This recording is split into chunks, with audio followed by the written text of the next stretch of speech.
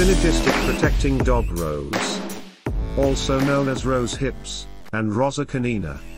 With anywhere from 20 to 60 times more vitamin C than an orange, healthy fatty acids, and other nutrients, this fast-climbing, self-fertile and easily pollinated, broad soil pH tolerating, wild-flowering shrub with culinarily and medicinally valuable fruit was coined the name due to its historical use for bite wounds. Dog rose flowers have been used by many historically with broad applications ranging from Roman pastry infusions to Alaskan Eskimo pudding mash, with more modern uses including juices, jams, soups, baby syrups and teas.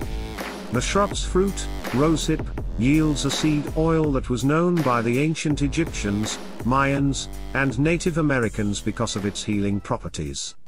Today it is known that this plant offers and is not limited to neuroprotective, anti-inflammatory, anti-ulcerogenic, antimicrobial, antibacterial, antifungal, anti-diabetic, anti-cancer, antioxidant, anti-tumor, anti-hyperlipidemic, anti-obesity, and anti-proliferative effects.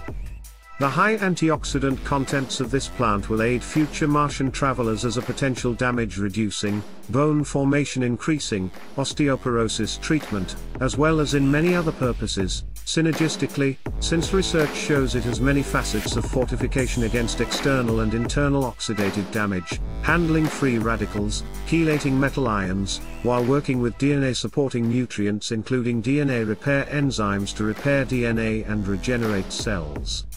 What else can we learn about this amazing organism, and how can it help us more on Earth and on the journey to and on Mars? Be sure to like and subscribe to the Martian Ark for more content, and leave your thoughts in the comments below.